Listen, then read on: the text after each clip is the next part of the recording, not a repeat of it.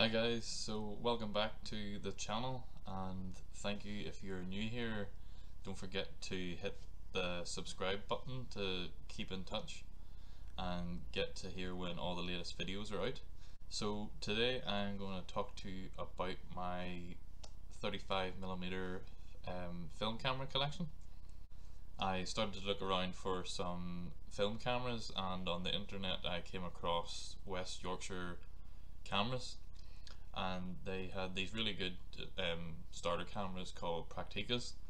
I think they were for about thirty pounds, and the first one they sent me was the LTL three. As you can see that.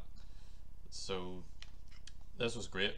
Um, it's made in West or sorry, the East German Democratic Republic. So um, as part as a Cold War era camera. Um, it came with a Miranda lens. It, the the camera came with this Miranda 50mm 1.8 lens as well, which was great for the price.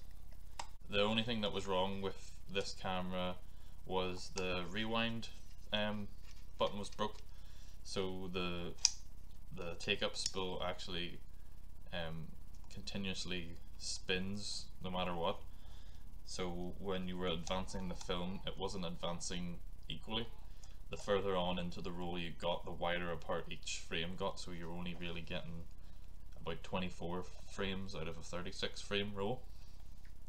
So I messaged the guys at West Yorkshire Camera and they were absolutely amazing and they immediately sent me out the camera that I'm using now which is the TL3 it's the Praktica TL3. It's essentially the exact same camera. Uh, it just doesn't have a self timer, which is unfortunate.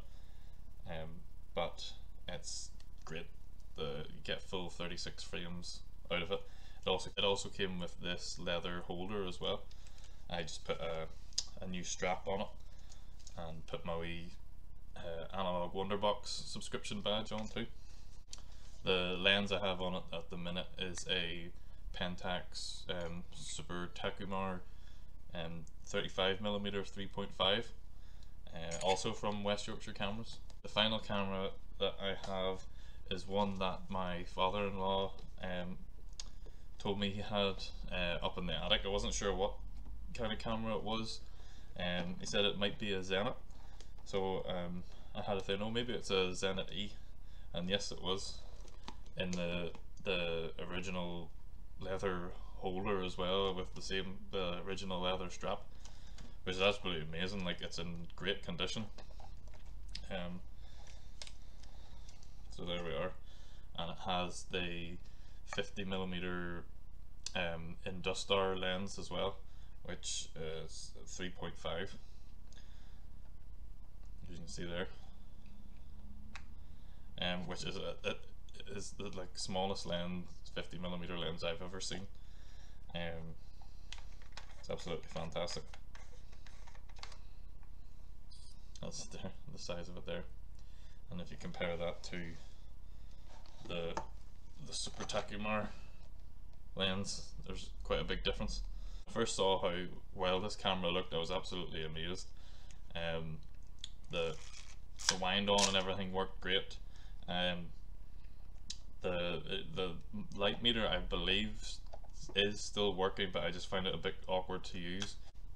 The one thing I did notice with this was that the the shutter on a, a speed of uh, 1 30th of a second or slower um, the shutter would drag and get stuck so I did some research on the internet and I found that all you had to do was tighten one of the screws on the bottom which um, adjust the tension of the shutter and that fixed it right up. Um, I'll add in a picture of what screw I'm talking about here now. And the other great thing about the Zenit E was that it has a self timer on it as well so I do have a camera now that works with a self timer. Um, so I'll show you some pictures now. Um, the black and white um, was a Bergger Pancro 400 film which I ran through the Zenit E using both the Industar lens and also the Super Takumar lens.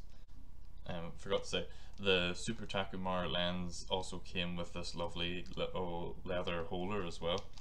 Um, I have the Miranda lens at the minute, but it's got this lovely green felt padding as well, which is a, a, a in, fantastic condition as well.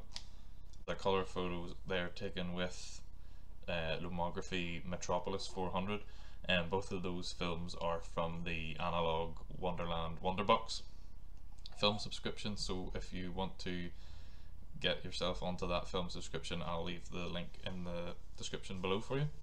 And thank you for watching guys. And don't forget to hit the like button and comment and subscribe please. Thanks for watching guys